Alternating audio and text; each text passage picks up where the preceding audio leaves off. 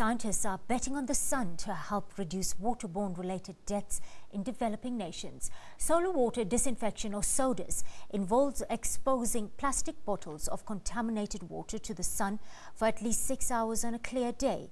Uh, scientists say the sun's UV light kills the pathogens in the water.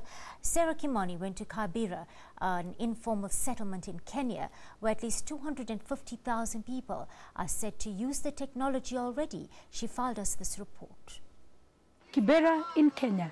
Every morning, this team of community mobilizers wakes up to a task of filling plastic bottles with water and then putting them out on the roof for at least six hours. Only then can they certify that the water is safe to drink. They are the advocates for SODIS or solar water disinfection. It uses the rays, the rays of the sun to inactivate the pathogen within the water. In Kenya, the program started in 2004 in Kibera, one of the country's largest informal settlements. Mistrust among the locals saw a slow uptake of the program, many residents preferring to boil, add chemicals or filter their water. In many low-income areas in developing countries, access to drinking water is a luxury. The World Health Organization estimates that globally 1 billion people do not have access to clean drinking water.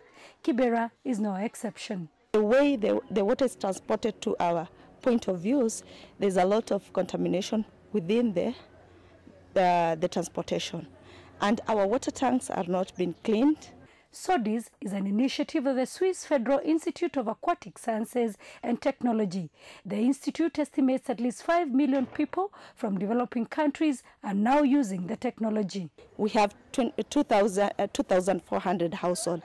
The World Health Organization indicates that countries that have adopted the use of solar water disinfection or SODIS have seen a reduction in the number of deaths as a result of waterborne diseases.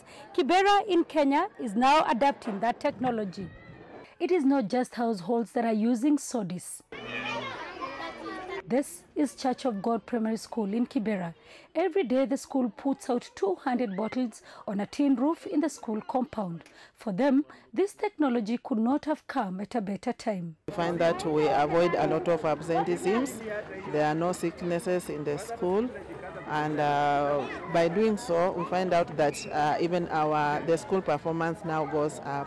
For a continent that enjoys several months of sunlight and yet suffers a lack of clean drinking water, SODIS may be just what Africa needs to reduce the deaths of children under the age of five.